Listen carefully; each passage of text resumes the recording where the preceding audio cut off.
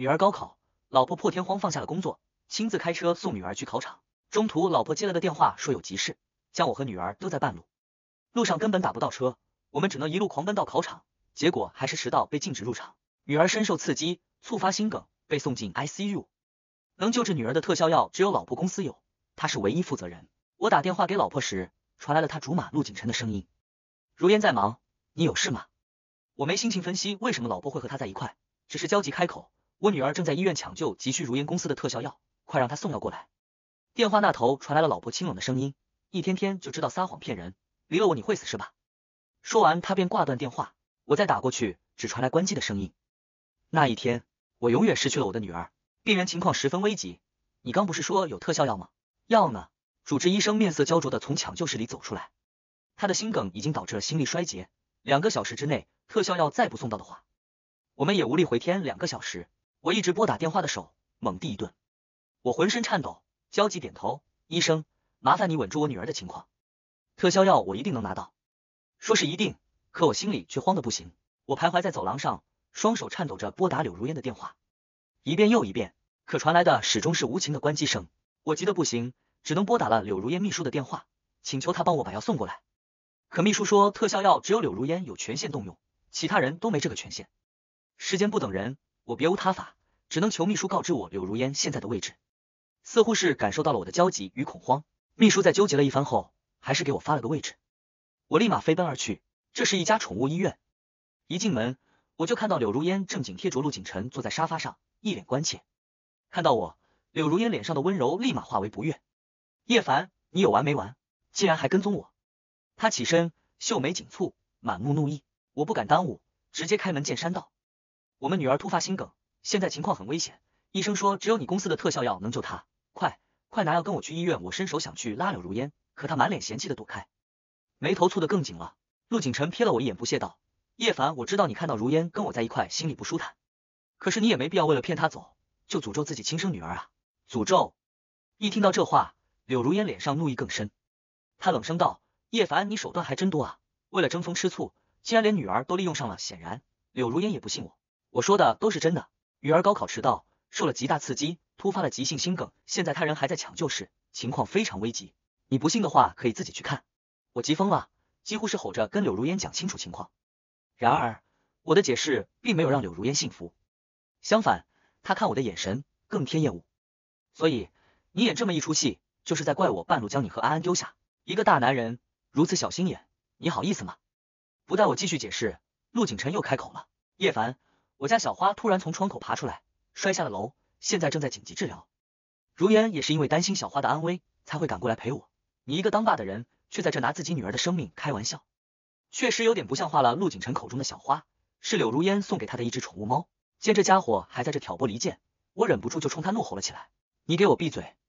被我一吼，陆景晨故作惊吓般朝着柳如烟那里挤了挤，柳如烟将他挡在身后。愤恨的瞪着我，叶凡，你过分了。小花受伤了，景琛已经很难受了，你竟然还在这凶他，你到底有没有一点同情心？我气得脑袋发昏，深呼了两口气，强忍心中的愤怒，对着柳如烟好声道：“我错了，你怎么说我都行，但女儿的情况真的等不了了。”我语气万分诚恳，继续补充道：“你快跟我去拿药救女儿吧，算我求你了，行吗？”见我如此卑微的乞求他，柳如烟紧蹙的眉头微微一松，似是有所动容。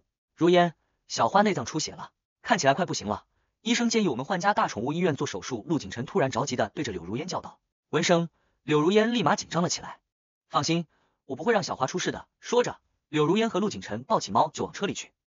我一把拉过柳如烟，乞求着女儿的药。柳如烟看着我，眉间有一丝的犹疑。如烟，快走吧，小花真的快不行了。陆景晨则在一旁不停的催促。我放弃尊严，直接朝柳如烟跪了下来，再次恳求开口，再耽误的话。女儿真的会死的，如烟，我求你了，把药给我吧。我的语气卑微到了极致。为了女儿，我放弃了男人的尊严。陆景晨却是满面不爽，对我鄙夷道：“安安身体一直好得很，怎么可能突然就要死了？我家小花已经快不行了，你还在这演戏抢如烟，你能不能有点人性？这可是一条命啊！”柳如烟闻言，一把甩开我的手，冷厉道：“景晨说的没错，你胡闹也要有个限度。身为男人，你在家不要脸也就罢了，现在竟然还当众下跪，你这不仅仅是丢我柳如烟的脸。”更是在丢安安的脸，安安怎么就摊上你这么一个没皮没脸的爸爸？说着，他嫌恶的瞪了我一眼，便头也不回的上了车。带着陆景晨和他的猫疾驰而去。看着那辆车在我面前渐行渐远，我心如刀绞。这时，医院的电话打来，叶先生，赶紧来医院见您女儿最后一面吧。我放下电话，疯狂朝医院赶去。等我赶到医院的时候，女儿已经变成了一具冰冷的尸体。我抱着女儿的尸体，痛不欲生。三天后，万念俱灰的我，一个人默默处理完了女儿所有后事。虽然已经亲眼看着她火化，但我仍然没有接受这件事。我接受不了。上一刻还斩钉截铁说一定能考上北大的女儿。怎么突然就变成了一捧白灰呢？她是那么聪明，那么懂事，为什么会落得这么一个下场啊？我手捧着女儿的骨灰盒，小心翼翼的擦拭着，脑海中不断闪烁着女儿从小到大的画面，眼泪悄无声息的从我眼中滑落。这时，消失了三天的柳如烟给我打来了电话，今天我妈生日，他允许你带着安安来柳家宅院贺寿，你好好拾掇一下过来，别再给我丢人了。我看了一眼女儿的骨灰盒，擦干眼泪，冷冷回道：好。我会带女儿过去的。第一次见到柳如烟是在一个夜晚，她酒驾开车把我撞飞了。当时她很害怕，说不管赔我多少钱都行，只求我别报警。我躺在地上，看着她惊慌失措的样子，整个人都呆愣住了。她那精致的面容和微醺的迷离模样，无一不让我心跳如鼓。那一刻，我有了一见钟情的感觉。我听从自己的内心，没有报警，也没要他的赔偿，而是强忍着身上的伤痛，一瘸一拐的离开。似乎是被我的特别给吸引。又或者是他喝醉了，哪根筋搭错了，变得冲动而疯狂。他直接上前拦住了我，带着醉意，很直白的开口：“做我的男人吧。”我也鬼使神差般，毫不犹豫的回：“好。”我们就这样闪婚了，并且很快就生下了女儿安安。柳如烟事业心强，喜欢工作，她的公司也离不开她，所以她主外负责赚钱。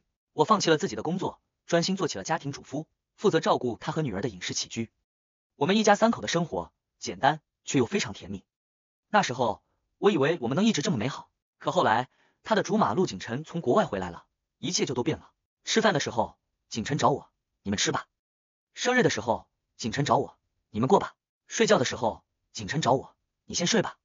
无论何时何地，只要陆景晨一个电话，柳如烟就会立马奔他而去。家对他而言变得可有可无，在外人眼里，我就是一个名副其实的绿毛龟，但我从没有过一句怨言。无他，因为安安，在柳如烟令我越来越寒心。外界对我指指点点的时候，安安总会对我投来最真挚的笑。他慢慢长大了，会叫我爸爸，会跟我说话，会跟我玩耍。读书后，安安总和我说，他要努力学习，要变得比妈妈还优秀。我问他为什么，他说以后要让我以他为荣。他说他要为我争光。那一刻，我湿了眼眶。为了安安，我更加辛勤的为这个家付出一切。不管陆景晨如何一次又一次的将柳如烟从我们的家里叫走，我都一一忍受了下来，因为我想陪着安安。想看着他长大，安安也如他所说的那样，越长大越优秀，每一次的考试都是年级第一。高考前夕，他还自信满满的跟我说，他一定要将北大的录取通知书交到我手上。可我没等来安安的录取通知书，却眼睁睁见他化为灰。我的女儿死了，死在了柳如烟的冷漠与无情上。现在再也没有什么理由能让我继续忍气吞声了。思绪漂浮间，我来到了柳家宅院，偌大的宅子，灯火通明。柳家众人齐聚一堂，热闹非凡。柳如烟和陆景晨夹坐在人群中，有说有笑，眉目传情，看起来倒像是甜情蜜意的两口子。一直以来，柳家人都特别喜欢陆景晨，他们认为只有陆景晨才配得上柳如烟，而我在他们眼中只不过是一个懦弱可欺的窝囊废。柳家的狗见了我都得对着我吼几声。我面色阴沉的走进去，一到大堂，就见刘老太太笑得合不拢嘴，对柳如烟赞不绝口。如烟，听说安安今年有望考北大？这孩子基因随你，也是你培养的好，你在教育上肯定下了不少功夫吧？安安能有你这样的妈妈，真是她的荣幸。柳如烟面不改色的回道：“安安是我的女儿，我教育她是应该的，她优秀也是必然的。”闻言，陆景晨也忍不住附和道：“安安确实优秀，那聪明懂事的样子，跟如烟小时候一模一样，人见人爱。”柳如烟的弟弟刘子轩立马打趣道：“陈哥，既然你这么喜欢安安，那以后你当他爸呗。”刘子轩跟陆景晨的关系一直很铁，在他心里，陆景晨才配当他姐夫。刘子轩的话引出了满堂欢笑，大家仿佛已经忘了我才是安安的爸爸。见我走进大堂，正谈笑风生的众人瞬间冷了脸，喜气洋洋的现场变得死气沉沉。叶凡，女儿呢？柳如烟盯着我，发出如寒冰一般的质问。我目光如刀，冷声反问：你还知道在乎女儿？柳如烟俏脸一沉，直接道：你这是什么话？我工作忙，陪伴安安的时间确实不多，但我努力工作不就是为了她吗？我只有这么一个宝贝女儿。将来我的一切都是留给她的，我还给她准备好了最豪华的嫁妆，我怎么可能不在乎她？柳如烟越说越激动，似乎是气愤我诋毁了她那伟大的母爱。我冷嘲道：“是吗？你不说，我还以为你的一切都是留给陆景晨的。这么多年，柳如烟曾无数次的因为陆景晨的一个电话而抛下所有，不管是安安生日还是安安生病，都没有陆景晨的一个电话重要。这些我都忍了。可我想不到，柳如烟竟然会为了陆景晨，狠心将我和女儿丢在高考的路上，甚至为了陆景晨的一只猫，害得女儿无辜丧命。这样的她，竟然在这扮演一个伟大的妈妈，多么讽刺啊！叶凡，你混蛋！柳如烟脸色一变。扬手就朝我扇来，我双眼一眯，伸手握住了他的手腕。别对我动手动脚，柳如烟脾气不好，她只要生气就爱对我动手。以前为了安安，为了这个家，我都忍了，但现在不可能了。见我突然硬气了起来，柳家人纷纷都对我投来了诧异的目光。谁也没想到，我这个软骨头竟然也有挺直腰杆的一刻。柳如烟更是犹如看陌生人一样，愣愣的看着我。好一会儿，她才甩开我的手，冷冽道：“叶凡。”我不就是没送你和女儿到考场吗？就为了这么一点破事，你还闹起脾气来了？陆景晨也趁机开口挑唆叶凡，身为一个男人，你也太小肚鸡肠了吧？就为了这么一点鸡毛蒜皮的小事，就在这胡搅蛮缠，你也不看看今天是什么日子？今天可是柳姨的寿宴啊！你明知道柳姨就想看看安安，安安也喜欢来外婆家玩，如果不是安安，你都没资格参加这场寿宴。你竟然还不带安安过来，你这爸当的真是一点不合格！此话一出。柳家所有人都对我投来了极度厌恶的目光，特别是刘老太太，脸都气红了。她严厉开口：“反正安安已经高考完，可以独立了。如烟，从今天开始，把安安带到我们家来生活，以后不许安安跟这个不负责任的男人见面。我好好的宝贝外孙女，别给他带坏了。”刘子轩也瞪向了我，知道安安今天要来，陈哥特意亲自下厨，做了安安最爱吃的可乐鸡翅。你呢？明知道安安喜欢美食，还故意不带她，自己舔着个脸来独享，你恶不恶心？我看。陈哥比你更适合当安安的爸爸。这么多年，为了安安，我放下了男人的尊严，顶着所有人的冷眼，无条件付出一切。可在柳家人眼里，我所做的一切，竟抵不过陆景晨的一个可乐鸡翅。他们竟然觉得陆景晨这个间接害死安安的凶手，比我更适合做安安的爸爸，多么讽刺，多么可悲！我忽然笑了起来，笑容里充满了泪水。叶凡，别以为你在这发疯就能蒙混过去。柳如烟生气了，安安是我的心肝宝贝。不是你用来吃醋闹脾气的筹码，就你这样不在乎孩子想法、毫无责任心的男人，确实不配当安安的爸爸。我妈的寿宴，你若不想参加，没人留你。但安是我柳家的血脉，是我柳如烟的女儿，你没资格剥夺她的自由。赶紧带她过来。我收起笑，冷眼看着柳如烟，悲愤道：“女儿，我已经带来了。”柳如烟环顾四周，不解道：“在哪？”柳家其他人也左顾右盼，寻找起了安安的身影。刘老太太甚至站起身来，眯着眼四处寻找着安安。我宝贝外孙女在哪呢？我将包里的骨灰盒掏了出来，重重的放在桌子上。她在这。见我突然砸出骨灰盒，现场众人纷纷吓了一跳，一个个的瞪大了双眼，诧异又嫌恶的看着我。刚刚还嘈杂的现场，瞬间陷入了死一般的寂静。陆景晨率先反应了过来，瞪着我愤然开口道：“叶凡，你脑子是不是被驴踢了？如烟是让你把安安带出来，你拿出一个骨灰盒是什么意思？诅咒自己的女儿吗？还是存心在这闹事恶心人？”听到这话，众人纷纷远离我，生怕被我晦气到。刘老太太捂着胸口，深喘了几口气，随即她狠狠地盯着我，凛冽开口道：“叶凡，你实在是太过分了！快说，我的宝贝外孙女到底在哪？”我说了，就在这。我指着桌上的骨灰盒，厉声回道：“叶凡，你有完没完？”柳如烟的脸冷得可以结出冰霜，她的声音也充满了怒意：“你真是越来越过分了！先是在宠物医院骗我说安安病危，现在又当众拿盒骨灰来膈应人。叶凡，是不是我这些年让你过得太好了？”才导致你肆无忌惮到这种地步。我目光如冰锥，盯着柳如烟，沉声开口：“我到底是不是撒谎？你去调查一下就知道了。”柳如烟眉头紧蹙，脸色深沉的注视着我，四目相对。柳如烟仿佛是想透过我的眼睛看破真相。片刻后，他掏出手机，和秘书以最快的速度把我女儿找出来。吩咐完，他挂断电话，一张脸冷若冰霜，看着我：“叶凡，别以为你演的像模像样，我就会相信你的胡话。等我找到了女儿。”我绝对会让你为自己这几天的无知行为付出代价，你以后也休想再见到安安。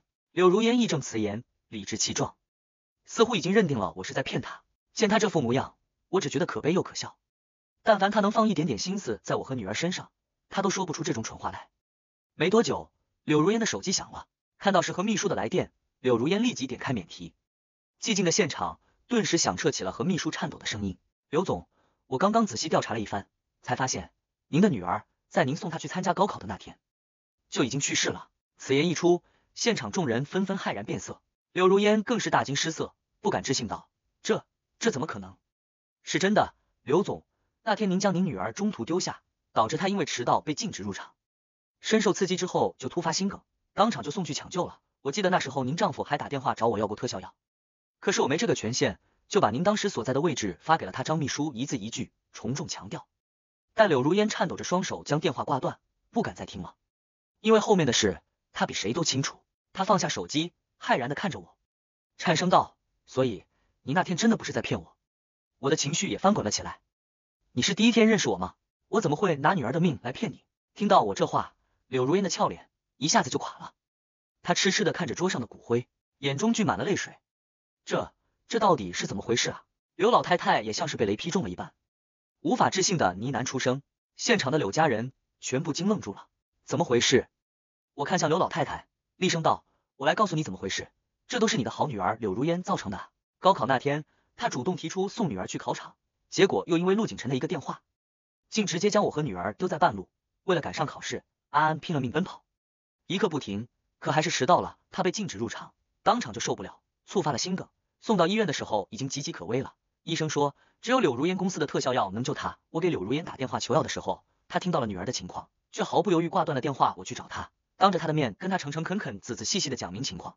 她不信，我跪在地上求她给药救女儿，她不理，她甩开我，赶着去救一只猫。她柳如烟为了陆景晨的一只猫，害死了安安。随着我一点一点讲明情况，刘老太太的脸色跟着一点一点消沉。怎么会这样？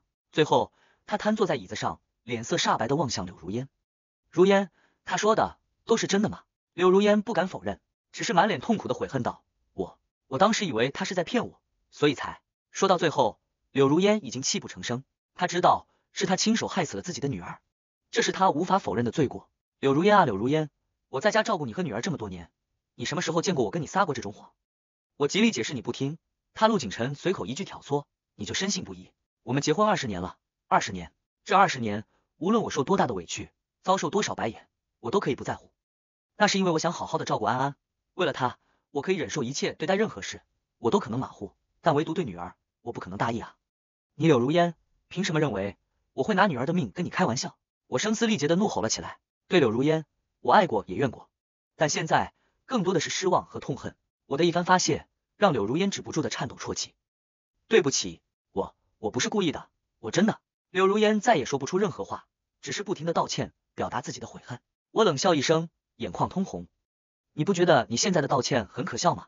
在安安还有一线生机的时候，你不假思索选择了一只猫，现在你又在难过什么呢？是为你那迟来的清醒，还是你那虚伪的母爱？柳如烟，你记住，是你亲手放弃了安安，也是你亲手害死了他。我再次掷地有声的痛诉着柳如烟的罪过，毫不留情。以往我就是太过在乎柳如烟的感受，因为太在乎她，所以才卑微。我像狗一样讨好了他这么多年，现在他不配了。叶凡，你说够了没？见我已经把柳如烟骂得泣不成声了，陆景晨忍不住又出来为他仗义直言。你没看如烟已经很痛苦了吗？你还在这不停的戳他的心窝子，你到底有没有一点同情心？啪！我毫不犹豫，重重一巴掌扇在陆景晨的脸上。这一巴掌我忍很久了，我满目凛冽盯着陆景辰。我跟柳如烟的事，还轮不到你这个上不了台面的第三者插嘴。柳如烟是蠢。但你陆景辰是坏，安安的死，你们两个都脱不了责任。我这突如其来的一巴掌，让现场众人都吓了一跳。陆景辰更是捂着脸，双眼赤红，瞪着我。你竟然敢打我！他咬牙切齿，当即就扬起手要打回来。住手！柳如烟及时制止，泪眼带着不容置疑的严厉盯着陆景辰。陆景辰微微一顿，不敢置信的看着柳如烟。如烟，是他先动手打我的，你你要拦着我吗？叶凡是我老公。我不允许你动他。柳如烟面色坚定的开口。陆景晨愣住了，他扬起的手好似突然没了力气般，沉沉放下。这是第一次，柳如烟在我和他之间选择了我，也是第一次，柳如烟让陆景晨当众吃亏。若是放在以前，我肯定会被柳如烟的此番行动感动到不行。但现在，我只觉得讽刺。迟来的深情比草贱。我掏出提前准备好的离婚协议放在桌上，我已经签好字了。说完，我便带着安安的骨灰大步离开。离开柳家后，我径直来到了提前埋好的一片墓地，将女儿的骨灰埋入土中。我认认真真的打扫了一番墓地，然后对着女儿的墓碑开始絮絮叨叨。幻想着女儿还在我身旁。我想用这种方式来缓解自己内心的压抑，传递出无尽的思念。直到现在，我依然没有接受女儿已死的事实，依然感觉女儿好似从未离开过。可他的音容笑貌只能在我的脑海，没法再出现在我面前。我不能再看着他笑，不能听他甜甜的叫我爸爸。我真的已经永远失去了他。时间在无声中流逝，夜幕降临，我离开了墓地，回到了和柳如烟居住的家，准备收拾行李离开。一到家，我就看到柳如烟正失魂落魄的坐在沙发上。听到我推门而入的声音，她立马起身，一脸激动的朝我走来。叶凡，我就知道你肯定会回来的，你肯定还是舍不得我的，对吗？他眼眶湿润的看着我，疲惫的眼中带着一丝失而复得的欣喜。你想多了，我是回来收拾行李的。我冷漠开口，越过他，回到自己的房间，开始收拾衣物。柳如烟微微一愣，眼中的那一丝激动瞬间湮灭。他缓了缓神，跟在我身后，小心翼翼的开口：叶凡，我知道自己这些年忽略了你和安安。可我真的不是故意害死他的，我求你别走好吗？我已经失去了安安，我不能再失去你了。柳如烟一向冷若冰霜的脸，这一刻却带上了祈求之意，再无从前的高高在上。我面无波澜，淡声开口：就因为你不是故意的，我就要原谅你吗？听到我这话，柳如烟脸色一白，眼中瞬间蓄满泪水，她泪眼婆娑，痛苦的忏悔：对不起，我不奢求你能够原谅我，可你能不能看在我也是安安母亲的份上，不要抛弃我们这个家？我跟陆景晨是从小玩到大的好哥们，我们之间真的没什么。你如果不想我跟他有瓜葛，我以后可以不再和他联系。你想让我怎么做都可以，我只求你不要走，给我个机会，我们重新来过好不好？柳如烟再一次放低了姿态，卑微的求我。放在以往，我绝对不忍心看他这么痛苦。可现在看着他这满脸泪花的模样，我的心中竟然没有激起一丝涟漪。我知道，我跟他已经彻底结束了。我目光坚定而冷漠，声音始终如冰。柳如烟安安的死。我无法释怀，我做不到每天面对你这个杀人凶手，更不可能原谅你。我们结束了。说完，我拿着刚收拾好的行李与柳如烟擦肩而过。这一次，柳如烟没有再开口，只是如泥雕木塑一般，默默目送着我离开。我知道我的话对柳如烟来说很残忍，但我不想去考虑她的感受了。我对她温柔了二十年，可结果呢？换来的是她一次又一次的不珍惜，是她毫不留情的践踏。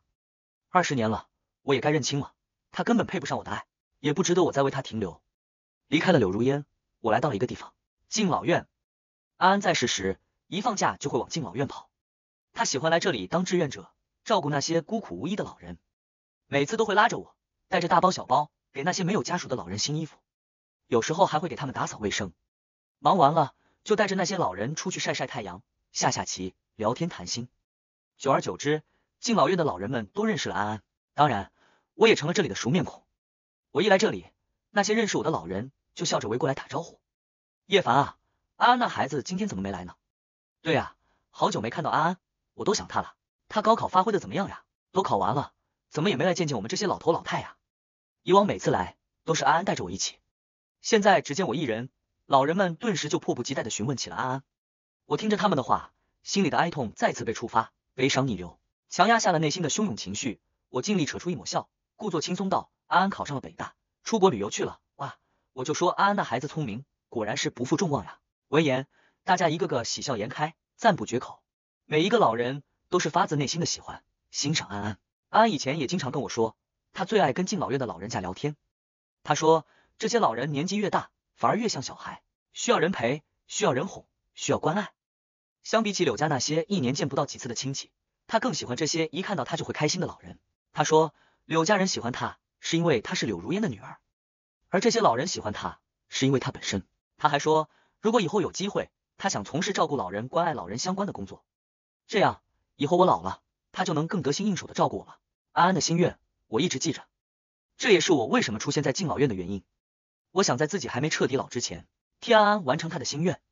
我常留在了敬老院，无微不至的为老人们服务，每天给他们量血压、打扫卫生、按摩，辅助他们吃药、锻炼。聊天谈心，日子简单而充斥，日复一日也不觉得枯燥。不知不觉间，我在敬老院度过了一整年。这一年里，我的心态逐渐趋于稳定平静，好像没有什么能够再影响我的情绪。直到这一天，我在网上看到了这样一条新闻：柳氏集团总裁柳如烟遭遇重大车祸，身受重伤，已经放弃治疗。看到这消息的同时，我接到了一个陌生电话。叶凡，我是如烟的妈妈，刘老太太的声音再无中气，特别无力。好似累了很久没有得到休息一般，有什么事吗？我淡声询问。是如烟，她出车祸了，伤得很重，医生说已经没几天可以活了。她声音微微颤抖着，似乎在竭力压抑内心的悲伤。见我沉默，他继续缓慢开口：“叶凡，我知道你心里恨如烟，可是她这一年真的是很可怜。她每天都会去你们认识的那个路口徘徊，想着重新寻找你的身影。这次的车祸也是发生在那里。我这么说不是在博你同情，只是想让你知道，她真的知道错了。这一年里，她没有一天不在忏悔中，整日以泪洗面。”需要靠大量的安眠药才能入睡，如烟每夜在睡梦中都流着泪喊你的名字。身为他的母亲，我真的很心疼。我打这个电话就是想问问你，能不能来见他最后一面？我老太婆求你了，好吗？刘老太太放下了老脸，卑微的祈求着我。说到最后，她已经忍不住啜泣了起来。时隔一年，曾经强势威严的她，如今却成了一个伤心柔弱的可怜老母亲。我沉默片刻，随即回复：好，真的吗？谢谢你。刘老太太喜极而泣。对着我连声道谢，我挂断了电话，与敬老院的老人短暂告别之后，便踏上了去往柳家宅院的路。对于柳如烟，我爱过也恨过，但现在我已经放下了，也是时候给过去画上一个完整的句号了。一年没来，再次踏足柳家宅院，已然是物是人非，一切都不同了。上一次来这，所有人都视我为蝼蚁，厌我为苍蝇，纷纷避之唯恐不及。而现在，为了迎接我的到来，刘老太太这般德高望重的长辈。都站在门口翘首以盼着，一看到我，刘老太太就拄着拐杖，在他人的搀扶下向我走来。她的身形变瘦变小了，佝偻了许多，步履也十分蹒跚。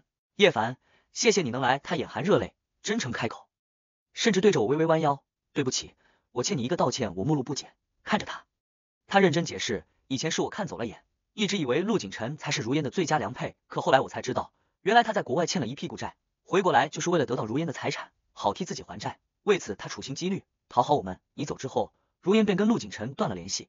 陆景晨没了依靠，被逼的再次东躲西藏。前一段时间才听说，他好像是被债主给抓走了，彻底消失了。对不起，让你在柳家受了这么多年的委屈。我对着刘老太太淡淡一笑，都过去了。刘老太太领着我进了柳家宅院，到了柳如烟的房间，看到柳如烟的第一眼，我被惊到了。